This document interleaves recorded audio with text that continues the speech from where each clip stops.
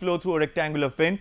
Just the thing is that I will actually again you know give you the basic idea. So, Qx is the heat coming in uh, to the elemental fin that is being marked with the orange.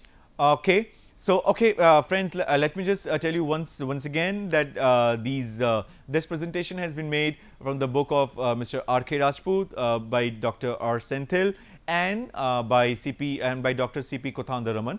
Okay. So, let us get into it once again. So, heat flow through rectangular fin this I have already done several times, but just for heat balance again you know to revive the heat balance in your mind. So, the that orange strip that you are seeing is the element and that element has a thickness dx okay and we all know when the solids are in contact with each other so the heat transfer uh, primarily the heat transfer is basically conduction okay so to is the base temperature okay and uh, ta is the ambient temperature okay so the element is at a distance x from the base okay and the element has a thickness of dx okay so uh, as per the heat uh, balance is concerned uh, of the element. So, Qx it is entering into the element and Qx plus dx is uh, now I think you must be acquainted with these terms uh, like x, x plus dx, y, y plus dy.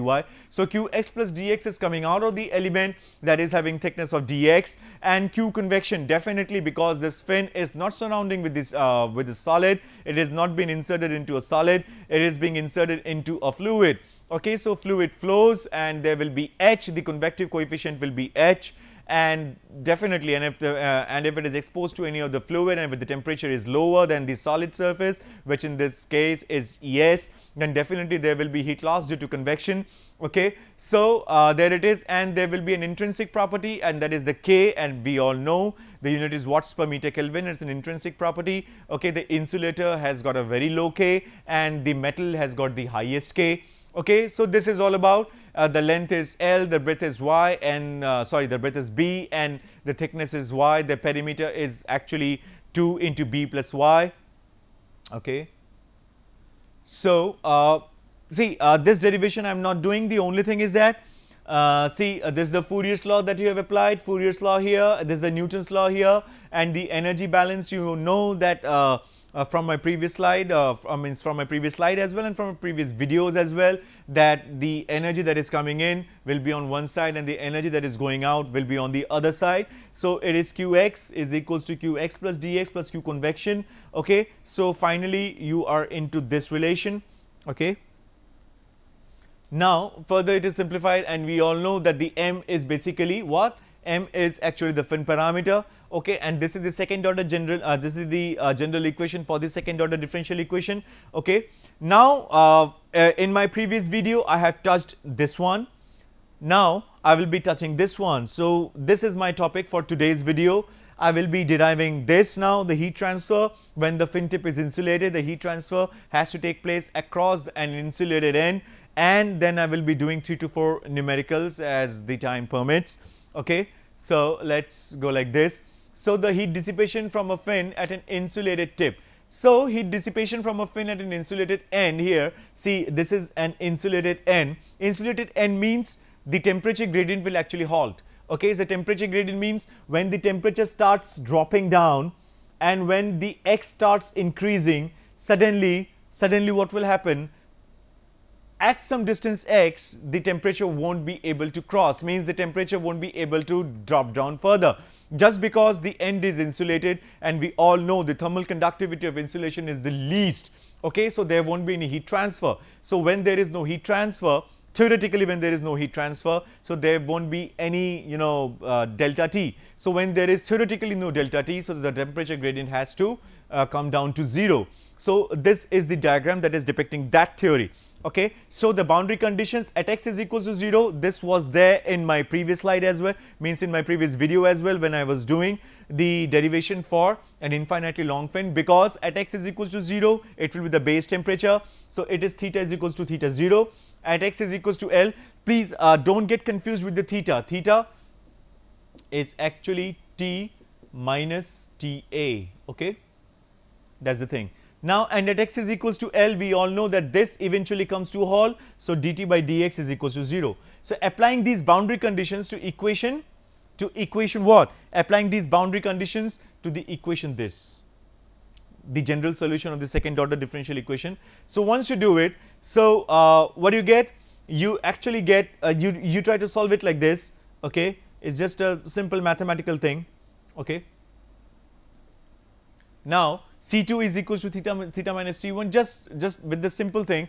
So, what is C1? C1 you get this that is theta naught into e to the power minus ml by e to the power ml plus e to the power minus ml okay and C2 is this that is theta naught e to the power ml by e to the power ml plus e to the power minus ml okay so you need to substitute the values of c1 and c2 into that particular uh, derivation right? Uh, means uh, into the particular formula which was these uh, the general solution of the second order differential equation. Okay?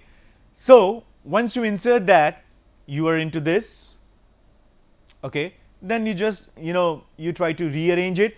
Now what is what is the thing? See it is e to the power. See uh, one thing you you might be remembering from your class 9 days or uh, class 9th days or maybe class 10th days it is like you know uh, cos h x okay? So it was cos h x. So it was actually e to the power e to the power x plus e to the power minus x by 2 okay? So cos h x is e to the power x plus e to the power minus x by 2 okay so suppose if we put it like this if we actually put it like cos cos h m l then it would be e to the power e to the power m l plus e to the power minus ml I am just putting into this format right by 2. If you have to write like cos h m l minus x so it will be e to the power m l minus x plus e to the power minus m l minus x by 2 okay? So i'm just you know following this format to prepare this. And now it will be like cos h m l minus x by cos h m l. So, if it is uh, and if it is like this e to the power m l minus x plus e to the power minus m l minus x by 2 and then e to the power m l plus e to the power minus m l by 2. So, 2 uh, you know will be nullified. So, what is remaining? This okay so it will be the the top part will be cos h ml minus x okay and the bottom part will be cos h ml.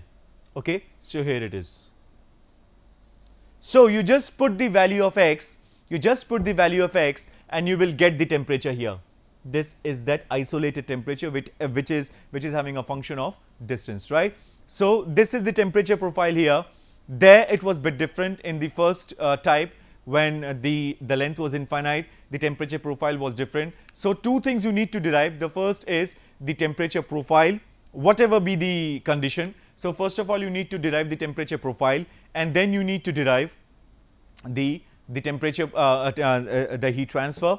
Here as well, uh, here also we are doing the same thing. First we are deriving the temperature profile and then we are talking about the heat transfer. So, we have derived the temperature profile it's a bit peculiar, but uh, actually you all know because you have done this I think in the engineering mathematics or maybe in class 9th or 10th okay when uh, when we all were doing the uh, you know the trigonometric the logarithmic or the hyperbolic functions okay?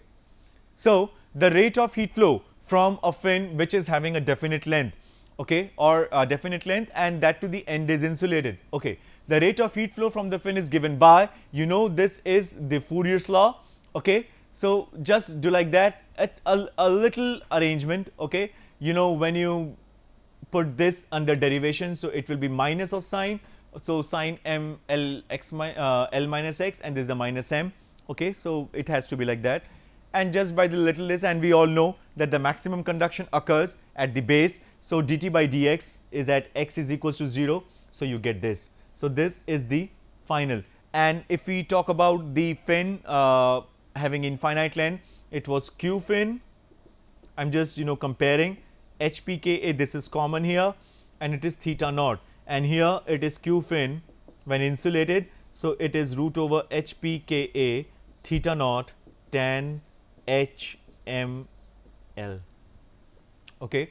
So, and we can also you know go for like uh, theta is equals to theta naught e to the power minus mx. This was there for the uh, for the uh, for the uh, infinite length and here it is theta is equals to theta naught okay cos h m l minus x divided by cos h m l.